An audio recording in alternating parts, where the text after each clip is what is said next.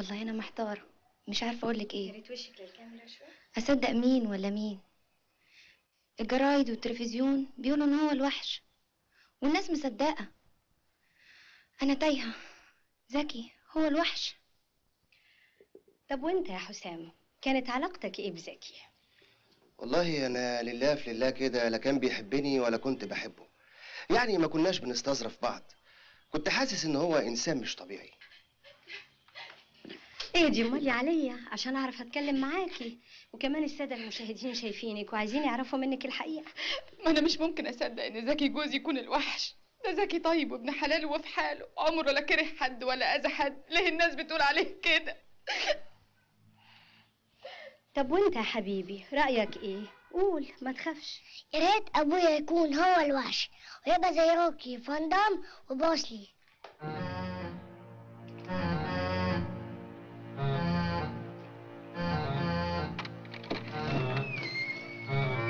أسعد الله بتماس يا عم الكل مية مسا يا زين الرجال. مساء الفل يا ريس. نورت بيتك ومطرحك يا سبع الليل.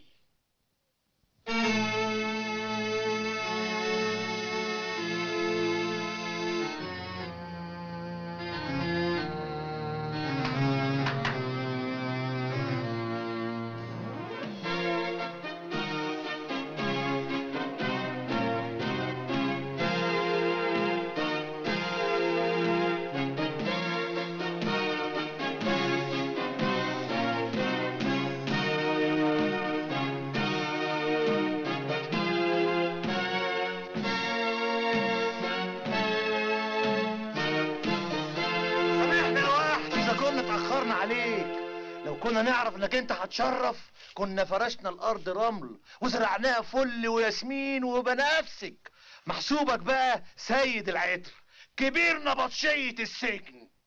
ده ده قبل تشريفك طبعا. آه من هنا ورايح الكلمة كلمتك والشورى شورتك.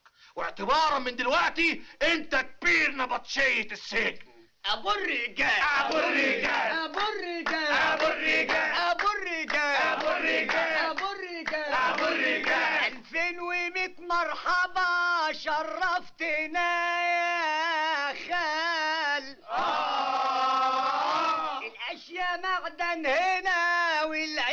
شعر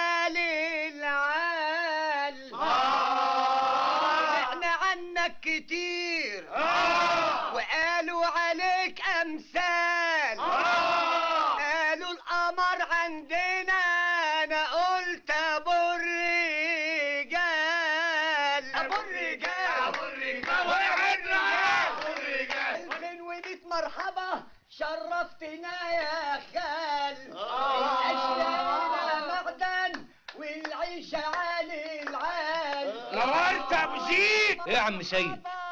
أنا في حلم ولا في علم؟ اللي أنت فيه حقيقة مش حلم يا زكي. بس أنت كمان جيت هنا بالغلط يا عم سيد. لا أنا ولا أنت جينا هنا بالغلط. إحنا اللي كنا غلطانين من الأول. افرد صدرك ارفع مناخيرك لفوق جز على أسنانك. اوعى تنسى إنك الوحش. حتى أنت كمان مش مصدقني يا عم سيد. اعمل اللي بقول لك عليه. سخر يا ابو الرجال. أهلا ولا نورت الدنيا يا ابو الرجال. مرحبا يا ولد. تحية لعم المعلمين. مرحبا ابو الرجال. أنا ابو الرجال. ولا حمار يا ابو الرجال. يا ابو الرجال.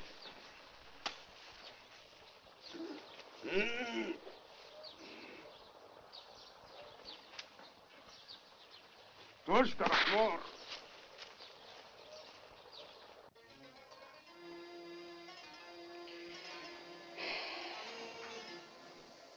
وحشني قوي يا رضا. وأنا كمان يا ماما. أنا مش عارفة إيه اللي بيحصل لنا ده. حد يصدق يا ناس؟ حد يصدق؟ زكي الطيب؟ يتعمل فيه كده؟ رضا أبوك طيب يا حبيبي. ما لو ما كانش طيب يا ماما ما كانوش عملوا في كده. لا يا حبيبي لا. مصير الحقيقة هتبان وهنعيش زي ما كنا عايشين وأحسن. سيدتي وسادتي يسعدنا أن نستضيف الأستاذ الدكتور محمد شعلان أستاذ الطب النفسي. أهلا بك يا دكتور. أهلا بيك يا مدام سهير تفتكر يا دكتور ما هو التفسير العلمي لمثل هذه التصرفات المتناقضة؟ هو أغلب هذه الحالات ممكن تنطبق عليها صورة الانفصال في الوعي اللي هو كان زمان بيسموه الهستيريا الانفصالية.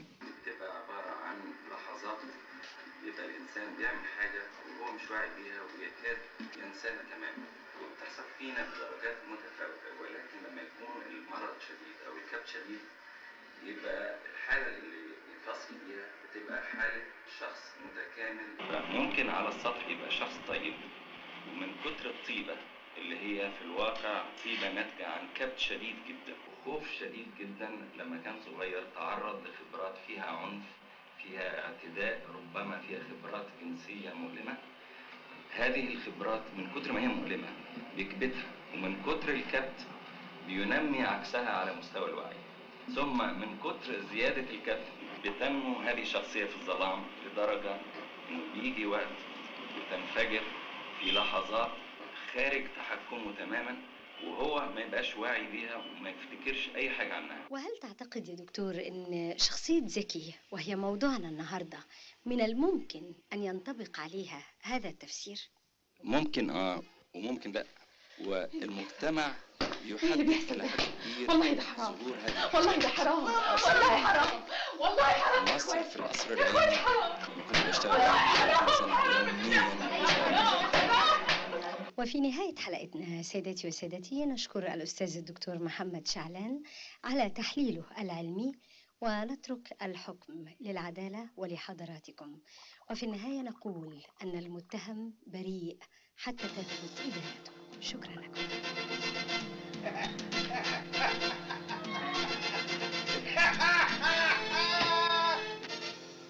بعد ما جرى اللي جرى. ورجالة أبو شنب رنوني العلقة قدام عيالي ومراتي وسابوني بين الحياة والموت ورموني بره البيت. زي أي كلب من كلاب السكك. ربك الحق زكي. حسيت إن أنا مش بني آدم. إني مش حاجة. لا بيت ولا حقوق ولا كرامة. لدرجة إن بقيت مكسوف ابص في وش عيالي لميت كراكيبي أنا والعيال. ونزلنا على الدوية وسط الموات والترب قلت حتة تتويني. حتة تتويني يا حي ولا ما هي؟ يا ريت الهم رضي بيا. اللي يفوت يوم والتاني ولا حتة عيل صايع ومن وراه شلة عيال فادة جايين يحوطوني أنا وعيالي اللي نايمين بين الأموات وبيخيروني. يا إما أدفع عن كل عيل اتنين جنيه في الجمعة عشان يسيبونا نايمين بين الأموات لا يضربونا ويهينونا ويسردونا. الدم غالي في عروقي الرديت بالهم والهم مش راضي بيا لقيت نفسي بصرخ وأقول بدراعي هاخد حقي منك يا دنيا. يا دنيا يا دنيا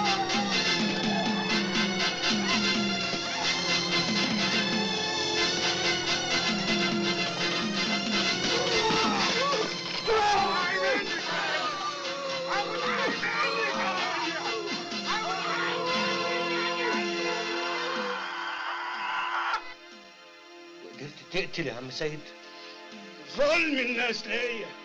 هو اللي صح الشيطان جوايا وخلاني أقتل ونزع من قلب الرحمة. الناس هم اللي خلوني كده. وليه تعوم على عوم الناس؟ ما إحنا عايشين وسطيهم. يا تفضل طول عمرك خايف منهم يا تخوفهم. اللعبة كده يا صاحبي. بس أنا ماليش في اللعبة دي. مشوارك أصعب من مشوار يا زكي. أنت دلوقتي عايش وعلى كتفك عباية الوحش. بس أنا مش هو. أنا بريء. شو عليا يا عم سيد؟ أعمل إيه؟ هتعيش يا زكي زي ما هم عايزينك تكون. عايزينك الوحش اللي بيخافوا جواهم منه. خلاص. تبقى أنت الوحش اللي تجسد فيه خوفهم. عينيك بتطق شرار تبقى لك هيبة يا زكي. هيبة الوحش. وتلم الغلة اللي بتطلع من العنابر. العنابر خيرها كتير والفلوس فيها ياما زي دنيتنا بره كل حاجة وأي خدمة فيها بتمن. بيدخل جبنا بطش العنبر. ده حقك يا زكي. تمن قوتك وخوفهم منك. لازم يكون لك كرامات يتحكى بيها المساجين.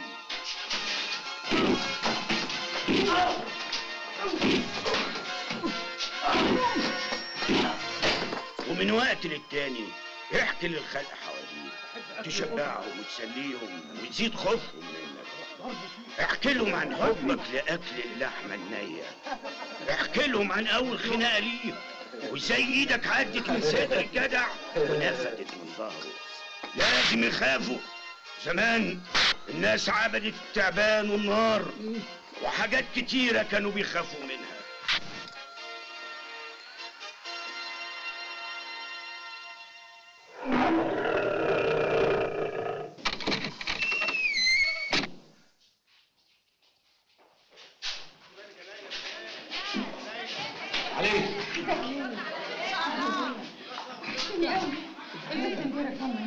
ربنا يعلم انت وحشاني قد إيه. والان عليك أنت ورضا قد إيه؟ لا يا اخويا ما تقلقش. مراتك ب راجل. ربنا يحميكي الظاهر إن إحنا ما كناش عايشين. أنا جوه السجن شفت دنيا غير الدنيا. المصيبة إن كلهم هنا خايفين مني. فاكرين إن الوحش بحقه حقيقي. لا يا زكي ما تقولش كده. أنت من طينة غير طينتهم يا أخويا. اوعى يا زكي. أنت سيد الرجالة آه. لكن مش مجرم. أمال جابوني هنا ليه بس؟ معلش يا زكي. شدة وتزول. ياما في السجن مظالم. أنا بقيت تايه عليه مش عارف أنا مين وليه ده بيحصل لي. خايف أضعف وأبقى صورة من عم سيد أو أتجنن. لا لا يا زكي لا اوعى. يبقى اتفقنا يا مدام أنا قبلت القضية. صحيح والنبي يا بيه. ومن النهارده هبشرها بنفسي. إلهي يسترها معاك دنيا وآخرة يا رب. بس قصدك الاتعاب اعتبريها وصلت بشرط. إيه هو؟ ما تدخلوش محامي تاني معايا في القضية. بصراحة بصراحة أنا مش مصدقة نفسي. لا صدق يا مدام وأحب اكد لك من دلوقتي إن الوحش قصدي ذكي هيطلع وراه. إن شاء الله تعيش. متشكرة قوي قوي العفو يا مع فندم السلامة. مع السلامة. معقولة يا دكتور؟ هتترافع في قضية زي دي؟ ده هي دي قضية العمر يا متر. مفيش حد في البلد مش مهتم بيها. وذكي لو طلع منها المكتب ده هيشتغل نار. والقضية اللي بناخد الأتعاب فيها 5000 جنيه هنطلب 10 وأم 10 هنطلب فيها 50 حكمت المحكمة ببراءة المتهم زكي محمد الطيب وذلك لعدم توافر الأدلة وللتضارب الواضح في شهادة الشهود بشأن تحديد مواصفات المجرم المعروف باسم الوحش. رفعت الجلسة. أنا مش فاهم. أنا هتجنن. يعني إيه؟ ذكي ياخد براءة يا بيه ولا كل من خد البراءة بريء ولا كل من دخل السجون مجرم عتيق. ما أنا قدامك اهو. عمري ما دخلت السجن. يعني إيه؟ كل الناس بيقولوا إنه إنه زكي هو الوحش. دي مصيبة مسيحة. طب والعم؟ عرفت بقى سعادة البيه. دبرني انت شور عليا. اديني جاي لك عشان تشور عليا.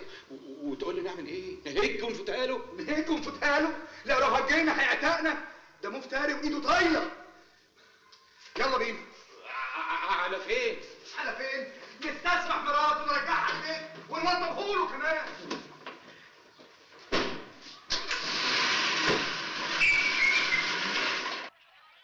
تفتكري يا عليا إن زكي بريء بحقه حقيقي؟ طبعا يا بنت بريء. ده أخوكي يا بنت ما انت شايفه أخوكي. بس الناس والجرايد والإذاعة والدكاترة بيقولوا إن هو ما كانش بيبقى دريان بالأعمال اللي كان بيعملها. يعني إيه؟ يعني زكي عنده وشين؟ وش شرس ووش طيب؟ لا لا ده أنا كده اتجنن ده زكي جوزي وأنا عارفاه كويس.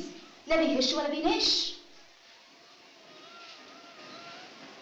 استنى. يكونش لما دخلت عليه وهو ماسك المدفع ومتهيأ إن هو بيموت في الناس كان بيتمرن. يا خسرتي يا خسرتي يا خسرتي يا خسرتي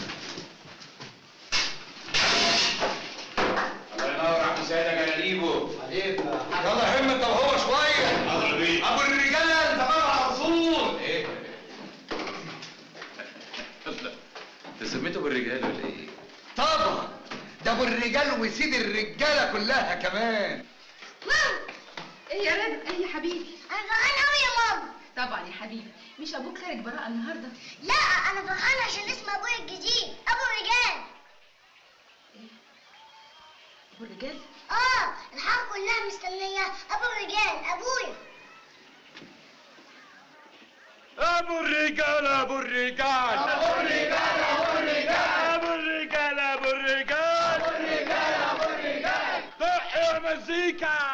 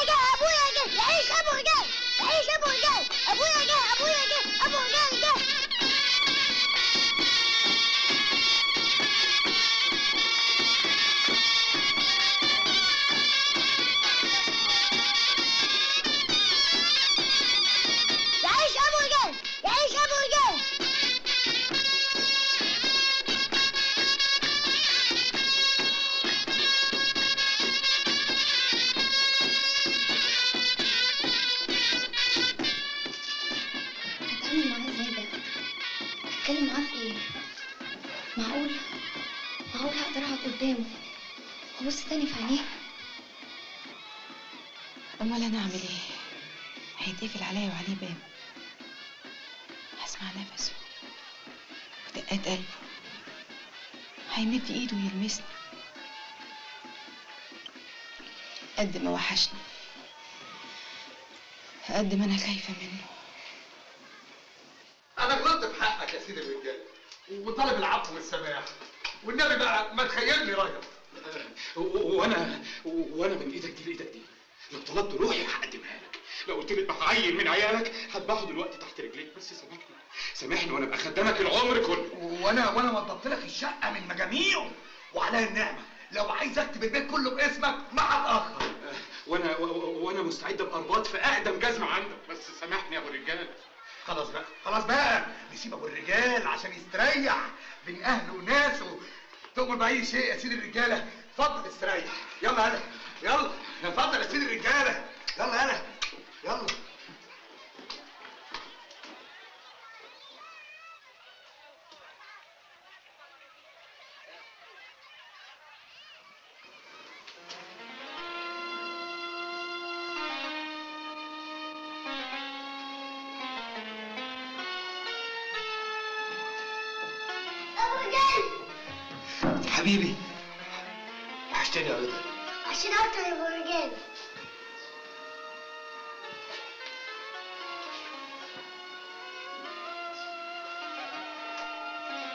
الحمد لله على السلامة يا زكي الله يسلمك عليا وحشتوني قوي أنا ما كنتش مصدق اني هرجع لكم تاني. مالك عليا؟ وحشتيني يا مالك. في إيه؟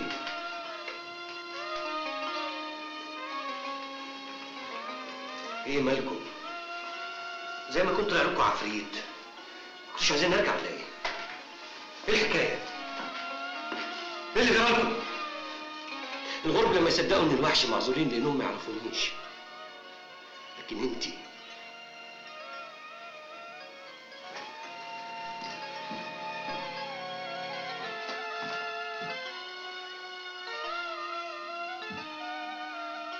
معقول اكون أنا الوحش ومش دريان؟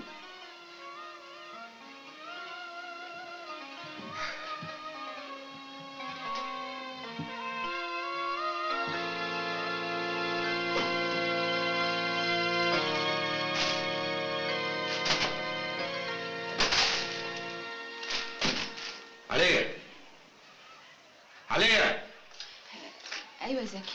اقفلي الباب وتعالي. ها؟ اقفلي الباب وتعالي. آه، آه، حاضر بس آه، أصل أصل إيه؟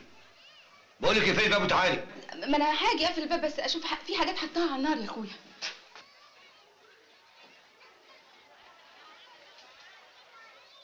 حتى أنت عليها. يا عم يلا يا عم لحسن يطلع يلوك فينا عليا النعمة من تحت على لما اشوفك أمر لله. بيقولوا بيفطر بكرتون وبيجيب بحالها وعليها كيلو سمنة بلدي يا راجل. قدام عينيا اللي هياكلهم الدود دول. ضرب ايده في الحيط طلعت في الناحية الثانية 10 سنين 10 سنين في الوحش؟ 10 سنين 10 سنين في الوحش؟ 10 سنين 10 سنين في الوحش؟ 10 سنين 10 سنين شرطه الوحش؟ شرطه الوحش ب 10 سنين شرطه الوحش ب 10 سنين 10 ساعات. أيوه. عليا. 310 عشرة ساعات. 310 10 ساعات. 10 ساعات. فاضية مكسوف الرقبة. لا ينزل يسرق ويشرب من دمك يا يا